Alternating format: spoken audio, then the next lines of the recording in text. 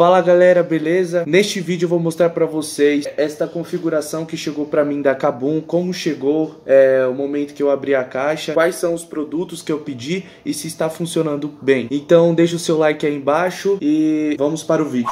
Nessa parte vocês podem ver que eu comprei uma fonte One Power de 600 watts. Bom, é pelo que eu pesquisei no YouTube, muita gente falava mal dela, mas pelo que eu vi nos comentários da própria Kabum, todo mundo estava elogiando. Então vai de acordo com você, se você quer comprar uma fonte que tem o selo 80 Plus ou se você no caso quer economizar que nem eu que gastei 171,90 nessa fonte. Mas para baixo tem o driver Asus, que é um gravador e leitor de CD e DVD, que eu também comprei porque eu tava sem pendrive aqui para instalar. Me aconselharam que hoje em dia é, você usa mais USB, né, para fazer o boot do Windows. Porém, eu acabei comprando, mas se você for montar uma máquina, não necessariamente você precisa ter um. É, eu optei por não comprar um HD de 1 TB e sim um SSD de 480 GB, que seria metade desse tamanho, porque o SSD ele é bem mais rápido que um HD e ele tava na diferença de 100 reais o valor. Eu prefiro ter um SSD com 500 GB arredondando do que ter um HD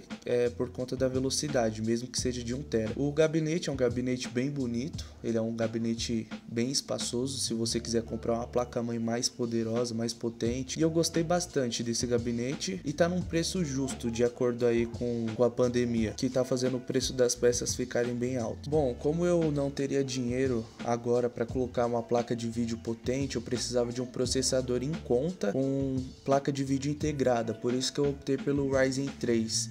E pelo meu uso, eu estou usando faz um dia ele tá suprindo tudo que eu tô precisando, porque eu montei esse computador para jogar alguns jogos e também para trabalho, para renderizar vídeo e etc. Ele tá sendo um ótimo processador, não precisei fazer overclock nele, ele tá dando conta de todas as tarefas que eu tô colocando. E para quem fica aí com a dúvida, é, não tá esquentando minha máquina, tá rodando super de boa, todos os programas, aplicativos e é bem rápido para um processador para você começar aí no mercado dos computadores mais potentes. Já memória, é, eu coloquei na melhor frequência que eu conseguiria, porque dá uma diferença e o máximo que o processador aguenta, que no caso seria 2933 Hz para o Ryzen 3. E essa memória ela, que ela fica piscando é uma ótima memória, eu já fiz overclock nela na BIOS que dá para você fazer por lá. Inclusive, para essa placa-mãe é uma ótima BIOS, já explico porquê. E é uma DDR4, obviamente, mas é uma ótima memória RAM, tá suprindo tranquilamente de acordo com a sua capacidade, o que ela precisa fazer. A placa-mãe é uma ASRock A320M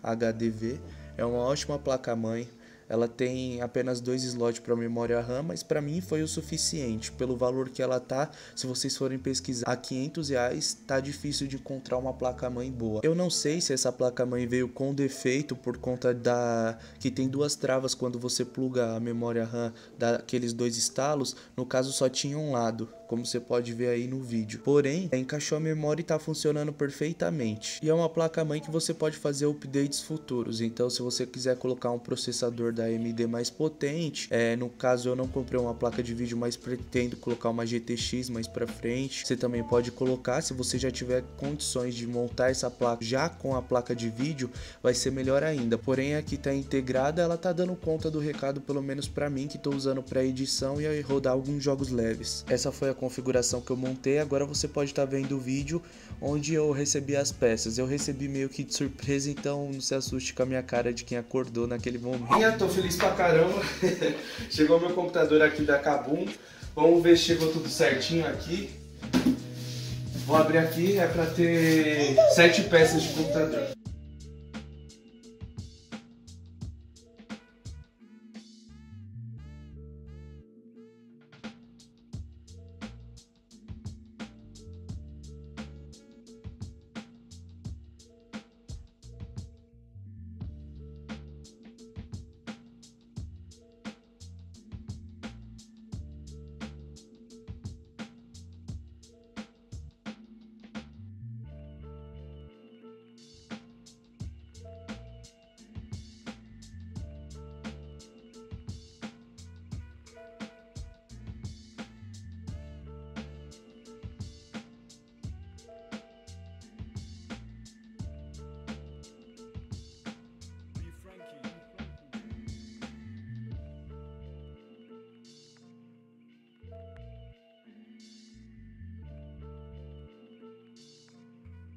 Bom, é isso aí. É, pelo visto aqui chegou tudo certo. Tá tudo ok. Chegou tudo certinho. Já já eu mostro pra vocês como que vai ficar esse setup montado, beleza?